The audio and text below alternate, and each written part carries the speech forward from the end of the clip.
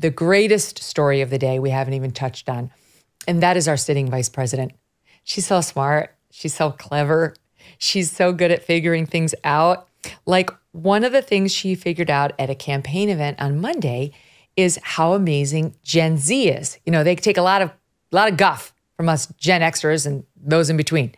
Uh, she loves Gen Z and she wants you to as well. And here's why, SOT 17. I see our college students. up there.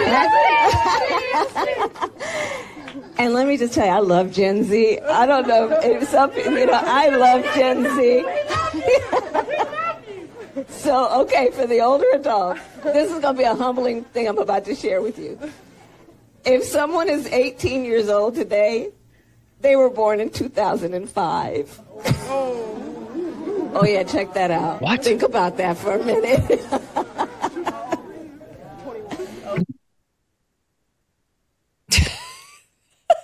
Dave. Hold on, I'm thinking about it. Can we use Doing anything? calculators, Sorry. Megyn? Yeah. No, no, no. I thought about it. It- it- the math is correct. Yes. I'm still checking. Uh, thank you. Thanks, Dave. Yeah. Uh, she's a, she is hilarious. What what That's a an unbelievable- strange figure in our in our Yeah. politics. What a strange figure. So, that, like, her attempted profundities always get to me. I love them. That one, she was, oh, this is going to blow your mind. it's going to blow your mind. But she actually took a shot uh, at being a little bit more profound uh, in celebration of MLK. Uh, I had her at this event in Columbia, South Carolina, and she busted out like her favorite line. It's the most absurd. She says it all the time. You would think her speechwriters would say, Madam, you've said that too many times. Nobody knows what the F you're talking about. But she keeps saying it over and over in SOT 16. Listen for yourself. Today, we celebrate the legacy of Reverend Dr. Martin Luther King Jr., a visionary who saw what could be unburdened Oh, God. by what had been. Oh no. Ah, cringe, cringe. I'll just take you back, just and then I'll give it to you guys. But just take a listen. We just put together a quick one. SOT 27 I can imagine what can be and be unburdened by what has been. You know? What Oh, my can be unburdened by what has been. What can be unburdened by what has been. What can be unburdened by what has been. What can be unburdened by what has been. what we can see, what we believe can be, unburdened by what has been. What can be unburdened by what has been. What can be unburdened by what has been. Is she done?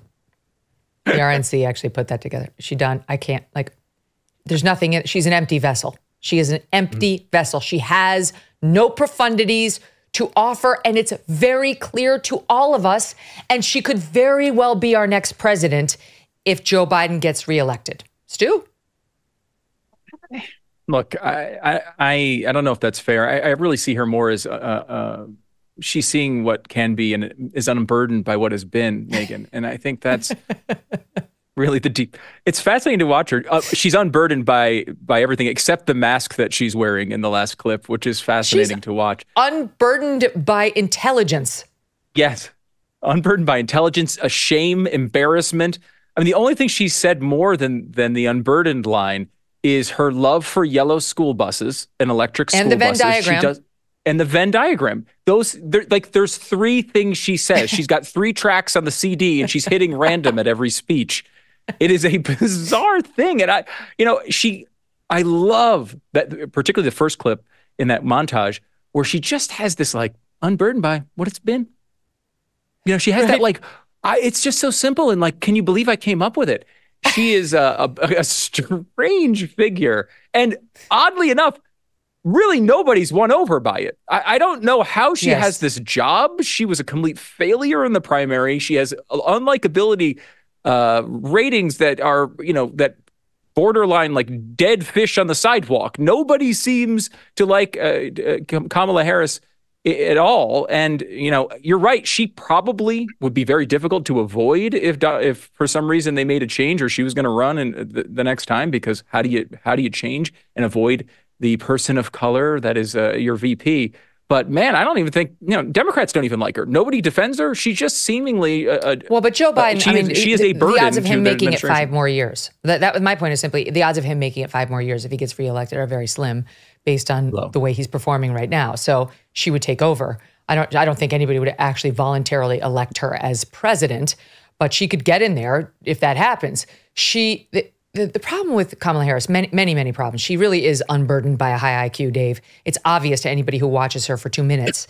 But not only is she does she not appear to be very sharp, she she's a race provocateur. She's Joy Reid in a different suit.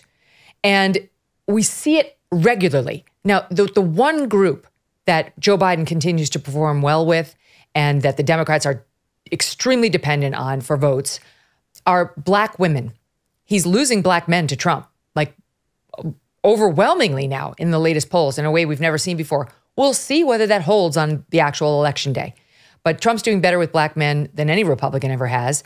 And Biden's hemorrhaging them, but not black women.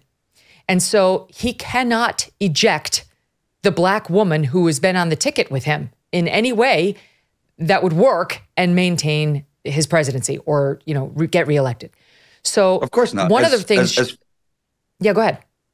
No, I was going to say, you know, as Fani Willis uh, explained to us, we can't expect black women to be perfect, right? Right, right. That's I mean, it's, standard. It's, it's, it's exactly the, it's exactly the same thing. So so no, she she can't be abandoned for for that very reason, of course.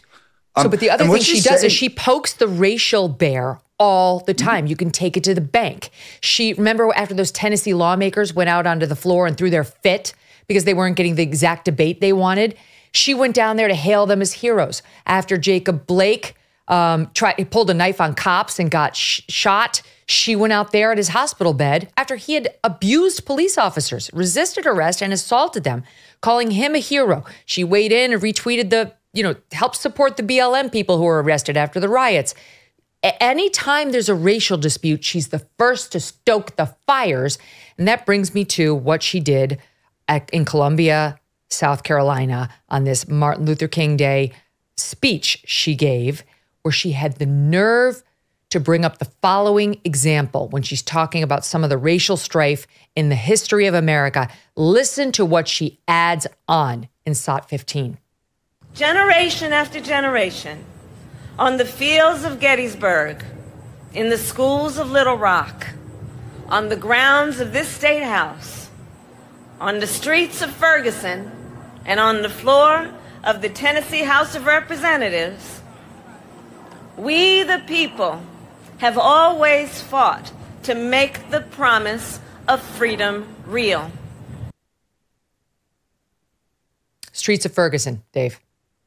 Yeah, I, I mean that's it's it's incredibly disrespectful to the soldiers who lost their lives at, at Gettysburg and, and and throughout the Civil War. But nobody cares about that, right? I mean th- that doesn't matter. That that that wasn't a debt paid. That that that was apparently something else. Um, this is part of what makes her rhetoric about unburdening ourselves from the past uh, not only deeply stupid, but really menacing and dangerous. Because what she means by that is tearing down statues. What she means by that is rewriting history. What she means by that is abandoning everything that America has ever stood for and ignoring that in the hopes of some pie in the sky equity that nobody can even actually explain or, or you know, tell us how it would work. And you know that's dangerous. I it, with all the political news, it went a little bit under the radar. But you know, last week or the week before, uh, I, I, was heartened by the fact that when the Biden administration tried to take down that William Penn statue, there was so much blowback yeah. that the Democrat governor of Pennsylvania, Josh Shapiro,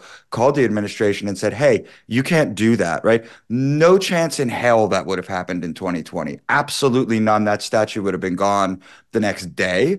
I so, remember you at the Natural well, History Museum. I, I, absolutely was, and I'm I, am i am still sad that that statue isn't there. I mean, New Yorkers love that statue. No, nobody asked them. There was no referendum, and and nobody was offended by the Teddy Roosevelt statue except for some lefty idiots on some committee somewhere. So, I mean, it's it's ridiculous, and and Kamala Harris really is, uh, you know, the the the platonic ideal uh, of all this nonsense. And if she had our if she had her druthers, she would unburden us from the past. We would we would know nothing about the actual past of the United States. That is her goal.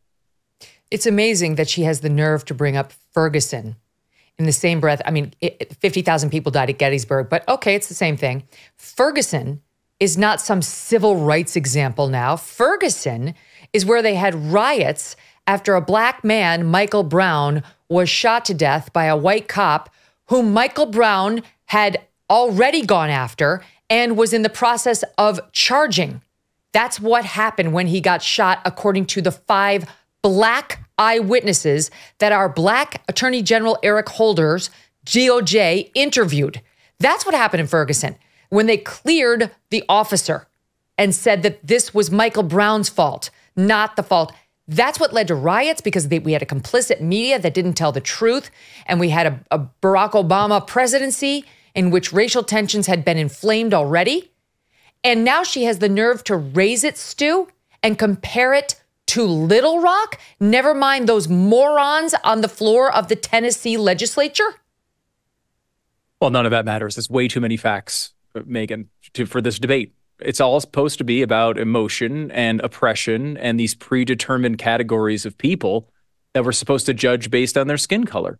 Um, you know, and I, I honestly, I, I keep coming back to this, and I don't know that it's going to work out. Seems like nothing ever works out sometimes, but it does feel like an incredible opportunity for conservatives and those on the right.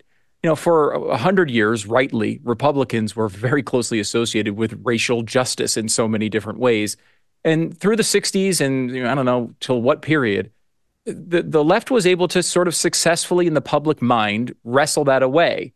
And I think, you know, the at the time the idea was, well, we shouldn't be judging people based on their immutable characteristics. It would be ridiculous to judge people based on their eye color. Why would we do it on their skin color? And so there was that was a concept that I think most people all agreed with. And Republicans were constantly always on the defensive, saying, "No, I swear we don't we don't want to judge people based on skin color. We don't do that. And they were trying, were constantly defending themselves from those accusations. And then along came the Ibram X. Kendis of the world and the Kamala Harrises of the world and the Joy Reids of the world who have handed on a silver platter this idea that now they're going to be the ones that are judging people based on skin color. They are handing this issue to conservatives, and conservatives agree with the vast majority of people on this issue that people should be judged by the content of their character, not by the color of their skin. True or false? Using your tax refund to pay off credit card debt is smart. False.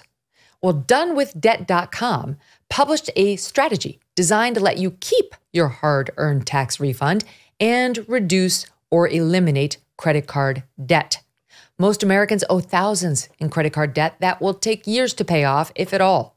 Done with Debt found that filing bankruptcy is usually not the answer, and taking out loans to pay off credit cards usually increases debt. When you engage Done with Debt, their legal experts and skilled negotiators will take on the credit card companies for you. Their winning strategies are designed with one goal solve your debt situation quickly and permanently. First things first, chat with a Done with Debt strategist and explore your possible solutions. That just that will make you feel better. Some debt fighting strategies though are time sensitive, so you do need to move quickly. Call right away. Check it out now. For a free consultation, visit done D O N E with debt D E B T.com. Donewithdebt.com.